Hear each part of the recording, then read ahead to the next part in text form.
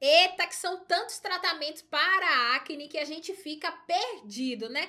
Tem limpeza de pele, peeling, fototerapia, argiloterapia, drenagem linfática, a gente fica super perdido. Que momento a gente faz o quê, Nath? Me conta aí. E eu vou contar isso para você hoje. Mas antes disso, eu quero te fazer uns pedidos super importantes. O primeiro deles é deixar o seu like e o seu comentário. Dessa forma, a gente faz com que esse conteúdo chegue para mais pessoas e para as pessoas né, que estão em busca desse conteúdo.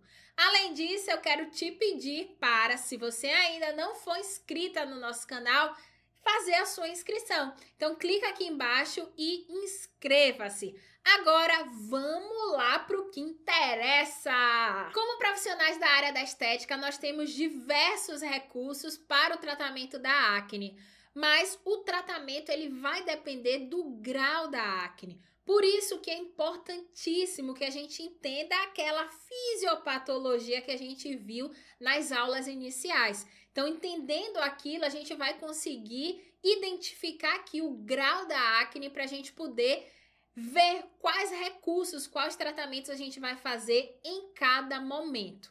De forma geral, o princípio para o tratamento da acne ele tem que ser baseado em controlar a produção de sebo, fazer promover né, uma desobstrução do canal folicular, controlar a proliferação de bactérias e controlar a inflamação. Então nós vimos, né, que aqui eu vou mostrar, né, baseado na foto aqui ao lado. Então, na foto 1, a gente já tem aqui um processo de produção excessiva de sebo.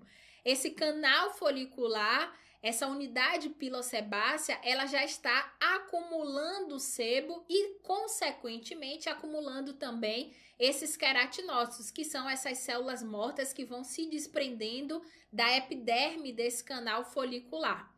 Na foto 2, a gente já começa a ter a proliferação de bactérias. Então a gente tem né, o comprometimento ali, o excesso de sebo, obstrução do canal folicular, proliferação de bactérias e na foto 3 a gente já tem o processo né, de inflamação instalado. Então, quando a gente fala com relação ao tratamento da acne, a gente vai precisar entender todas essas etapas para que a gente consiga atuar em cima delas, controlando, né? Então, qual é o estágio, qual é o grau dessa acne para a gente ver o acometimento, para a gente ver de que forma a gente vai atuar. Então, vamos controlar a produção de sebo, vamos fazer, promover aqui uma desobstrução do canal folicular, controlar a proliferação de bactérias, já tem um processo inflamatório, a gente precisa conter essa inflamação. Então, isso vai ser a base para a gente poder definir quais serão os nossos tratamentos. Por isso, é importantíssimo que a gente realize uma consulta detalhada. Com a consulta, a gente vai conseguir entender e definir se o cliente tem de fato acne, porque às vezes pode ocorrer uma erupção acneiforme e não ser acne de fato. E o tratamento ele vai ser outro, o tratamento vai ser completamente diferente. E a gente vai ter uma aula, né, falando sobre erupções acneiformes para você poder entender melhor com relação a isso e definir quando você for fazer a sua avaliação, né? Conseguir definir se é acne, se não é acne, para poder ver também qual vai ser o seu tratamento. Além disso, né, na avaliação a gente vai descobrir a causa. Lembra lá, se a gente sabe a causa, a gente pega pelo que está desencadeando todo esse processo para a gente poder ter resultados mais eficazes. Ver se é hormônio, se é estresse, se é algum produto, alguma substância, alguma coisa né, que a cliente está utilizando ali de forma errada que está estimulando o surgimento né, dessa disfunção. Então é importantíssimo que a gente determine a causa, a gente veja né, se de fato é acne, qual é o grau da acne para a gente poder definir um tratamento ideal e adequado para cada cliente. Vamos lá, então aqui a gente começa né, pela acne comedogênica, que é uma acne não inflamatória, acne grau 1.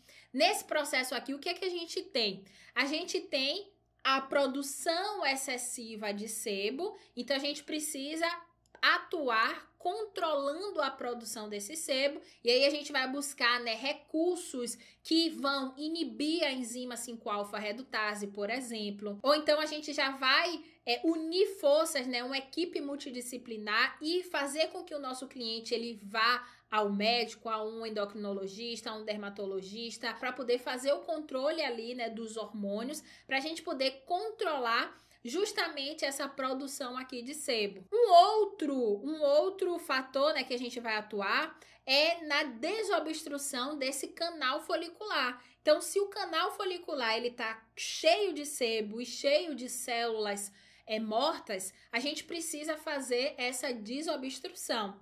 E o terceiro é diminuir a hiperqueratinização principalmente, né, da superfície da pele, que essas peles elas ficam muito espessas. E aí a gente tem também esse comprometimento além da hiperqueratinização, né, que também favorece ali a obstrução desse canal folicular. E como é que a gente vai fazer isso? Um dos tratamentos aqui principais é a limpeza de pele. Então, com a limpeza de pele, a gente vai fazer, quando a gente faz ali a remoção dos comedões, a gente está fazendo justamente a limpeza desse canal folicular, porque a gente está removendo todo o sebo, né, todas as células mortas que estão ali daquele canal. Então a gente consegue fazer a desobstrução né, desse canal através da limpeza de pele. Além disso, na limpeza de pele, a gente tem ali etapas né, que vão controlar a proliferação de sebo, que vão promover um afinamento epidérmico. Então, tem uma série né, de benefícios à limpeza de pele e ela é fundamental e importantíssima para a acne comedogênica. Além da limpeza de pele, a gente pode utilizar né, argila.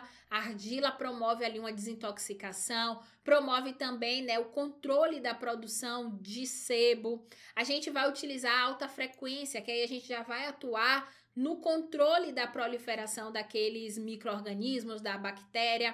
A LED terapia também, a gente consegue, né, através do LED, o LED azul principalmente, é, atuar nessa proliferação de bactérias e a gente nem chega na etapa né, da inflamação, a gente já vai contendo todos esses avanços, né, que pode ocorrer ou não. Então, a gente tem um comedão, esse comedão ele pode evoluir ou não para uma acne inflamatória, mas é legal que a gente já vá controlando tudo, né? Não espere lá acontecer, né, uma inflamação, uma proliferação mais de bactéria para a gente atuar nessa disfunção. É importante que a gente já vá prevenindo antes.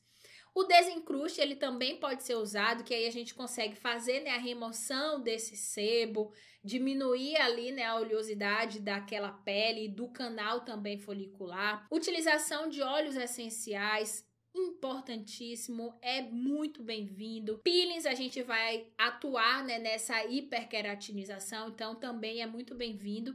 E a cosmetologia de uma forma geral.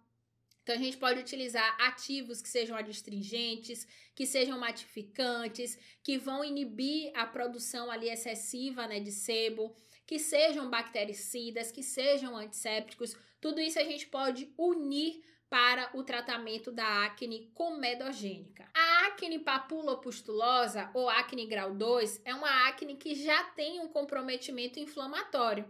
Então aqui a gente vai atuar controlando a proliferação de sebo também, promovendo a desobstrução do canal né, folicular, diminuindo a hiperqueratinização, controlando microorganismos e controlando o processo inflamatório. Então perceba que aqui a gente já vai atuar em mais fatores, né? Porque aqui a gente já tem, né, o, uma parte ali inflamatória, a gente já tem mais proliferação desses micro-organismos, então tem mais frentes para a gente atuar. E quais são os tratamentos que a gente vai fazer? A gente pode fazer limpeza de pele, mas aqui eu coloquei dois asteriscos, por quê? Se a gente tem uma pele que ela tá muito inflamada, a gente não vai realizar a limpeza de pele. Então, nem sempre a limpeza de pele vai ser o primeiro tratamento a ser feito. Se a cliente está com muita pápula, se a cliente está com muita pústula, a gente primeiro vai focar em melhorar essa inflamação e depois fazer a limpeza de pele, porque tem horas que dói muito. Então, se está inflamada, a gente vai inflamar mais ainda Olha lá a agressão né, exagerada. É importante que a gente faça também essa avaliação. Então, está com muita acne inflamatória, não faz limpeza de pele em um primeiro momento. Aí a gente pode utilizar algum peeling, né? Algum peeling químico para gente, enzimático, para a gente poder ir diminuindo essa inflamação e promovendo, né, essa, esse controle ali na proliferação de bactérias, para depois a gente vir fazer uma limpeza de pele. Ah, Nath, mas a cliente tem uma pápula aqui, uma pústula aqui e só. Nesse caso, a gente pode fazer a limpeza de pele. Então faz o procedimento, só não, não, estimula, né, muito na hora da esfoliação, evita, né, se for uma esfoliação física, se for uma esfoliação mecânica, cuidado com a pápula, cuidado com a pústula. Então a gente vai tendo esses cuidados, tá? Mas a limpeza de pele ela pode ser uma opção desde que a gente não tenha um, um acometimento muito grande de acne inflamatória. Argiloterapia também muito bem-vinda pelos mesmos motivos, desintoxicante, controla a oleosidade, alta frequência fundamental. Se a gente pudesse fazer alta frequência todos os dias, a gente faria alta frequência todos os dias nessas clientes. Porque a gente já ia, né, diminuindo, na verdade, essa proliferação ali de bactérias, o alta frequência é fundamental para esse processo. Podemos utilizar também fototerapia, LED, laser, luz intensa pulsada. Tem um desencruste também para a gente poder diminuir esse excesso né, de oleosidade. Os peelings químicos também, e aí a depender do peeling, né, do ácido queratolítico que a gente for utilizar, a gente pode atuar de diversas formas, não só na hiperqueratinização, né, diminuindo ali aquele espessamento da epiderme, mas ele pode ser anti-inflamatório, ele pode ser cicatrizante, ele pode ser hidratante. Então, avalie também quais são os ácidos que vocês vão utilizar porque além de ser queratolítico, ele também precisa ser importante para os processos aqui que está ocorrendo nessa acne. Então, controlar bactérias, controlar a inflamação, controlar a oleosidade, dê preferência a esses ácidos, certo? Quando vocês forem fazer o peeling químico com o ácido queratolítico que vocês for escolher. Além dele ser queratolítico, é legal que ele tenha, é, que ele atue em outras é, em outros pilares também da acne. E aí o ácido salicílico é perfeito, né, para isso, como a gente viu, o ácido salicílico ele atua em quase todas as etapas da acne. Então é uma boa opção. A gente também pode fazer drenagem linfática manual. Ah, Nath, mas a drenagem linfática não vai tocar ali na pele, não vai acabar estimulando as glândulas sebáceas, piorando. Gente, tem procedimentos que a gente vai colocar na balança e ver quais são os benefícios e quais são os malefícios. Se o benefício ele sobrepor ao malefício, a gente faz aquele procedimento. Então, no caso da drenagem linfática, a drenagem linfática vai eliminar toxinas, vai estimular o sistema imunológico. Então, para a gente vai ser muito mais interessante esses benefícios do que a gente pensar que, pô, eu vou estimular aqui a glândula sebácea, vai produzir mais sebo. Então, o outro aqui compensa, porque a gente vai trabalhar principalmente o sistema imunológico que está precisando ser ativado nesse momento, certo? Então, coloca sempre na balança. Podemos utilizar crioterapia, tem aquelas esferas né, crioterápicas que a gente pode passar para poder aliviar, acalmar. Óleos essenciais também são muito bem-vindos. Cosmetologia, né, como a gente falou, todos esses ativos que vão atuar nesses pilares da acne, a gente pode estar tá inserindo aqui, utilizando a cromoterapia e as microcorrentes. Gente, microcorrente é importantíssima nesse processo. Ela vai ser muito útil, né, na parte ali da cicatrização, na parte, né, de controlar a inflamação. Então, podem utilizar as microcorrentes nesses casos que você vai ter resultados incríveis. Falamos do grau 1, falamos do grau 2, grau acima do grau 2, né? Acne grau 3, acne grau 4, acne grau 5. É importante que a gente avalie por quê? Nesses casos, o cliente ele vai estar com acompanhamento de um dermatologista e é importante que a gente veja o que é que essa pessoa está utilizando, qual é o procedimento né, tópico e oral sistêmico né, que ele está realizando para a gente poder ver o que é que a gente vai fazer.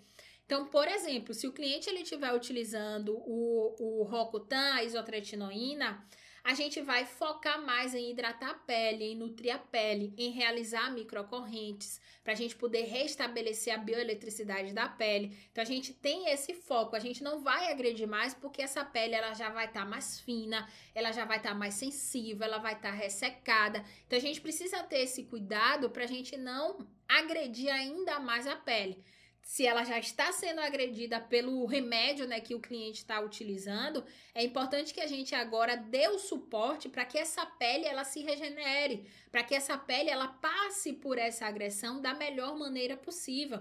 E aí a gente foca em hidratar, em nutrir, em, em restabelecer ali o campo né, bioelétrico, melhorando a cicatrização, favorecendo a regeneração dessa pele, certo? Então, grau mais elevado, é importante que a gente verifique o que é que o cliente está utilizando, qual produto ele está utilizando, que o dermatologista recomendou, seja tópico ou seja oral. Eu finalizo por aqui, eu espero que você tenha gostado. Se você tiver alguma dúvida, coloca aqui nos comentários, eu vou ter o maior prazer em te responder. Se for preciso, a gente vai gravar novos vídeos, né, explicando alguma coisa que ficou faltando, e eu também quero saber, né, o que você tá achando. Então coloca aqui seu comentário que eu tô aqui de olho para poder ver tudo. Não se esqueça que ao final do curso a gente tem prova e a gente tem certificado.